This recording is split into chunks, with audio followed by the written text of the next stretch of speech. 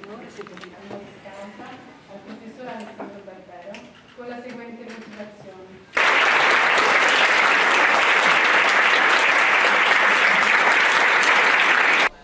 Detenere dei segreti e poter ricattare qualcuno ha certamente, certamente qualche cosa che è sempre stato diciamo, uno degli elementi del potere. Sì. Adesso però su due piedi purtroppo non mi viene in mente, per pazienza, un esempio specifico da poter citare.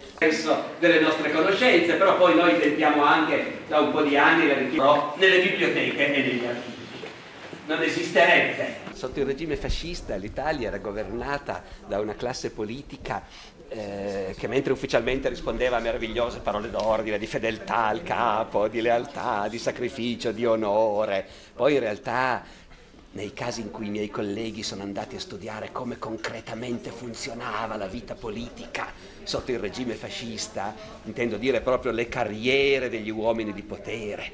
E proviamo anche a raccontarlo, oltre a discuterne fra colleghi il ricambio dei federali al governo del partito nelle varie province. Ecco lì è straordinario come la vita politica del partito fascista, mh, regolata dall'alto da Mussolini che era abbastanza al corrente di tutto, fosse tutta basata poi sul distruggere l'avversario politico, il concorrente, facendo saltare fuori le notizie sulle sue preferenze sessuali o sui suoi scandali economici. Ecco, nell'Italia degli anni 30 si diventava federali del Partito Nazionale Fascista e poi si veniva buttati fulmineamente fuori e mandati al confino pochissimo tempo dopo, con grandissima frequenza, sulla base di dossier raccolti dai propri avversari politici.